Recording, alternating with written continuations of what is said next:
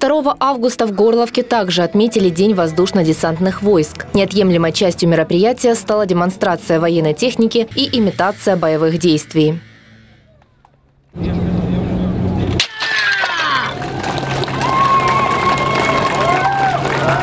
Собравшиеся поздравляли друг друга с праздниками, отметили важность труда всех военных, которые стоят на защите нашей республики. Для каждого десантника это на святой день. То бишь, хочу пожелать всем десантникам крепкого здоровья и синего неба. Как говорит, э, бывших десантников не бывает.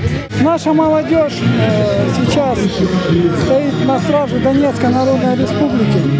Вот, э, мы, мы защищаем нашу республику, память о наших дедах, отцах.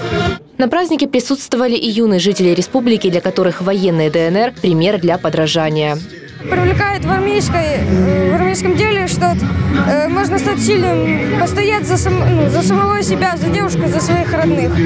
Также пришедшие на праздник горловчане могли отведать полевую кухню и послушать песни в исполнении местных молодежных ансамблей. Анна Требушкова, Первый республиканский.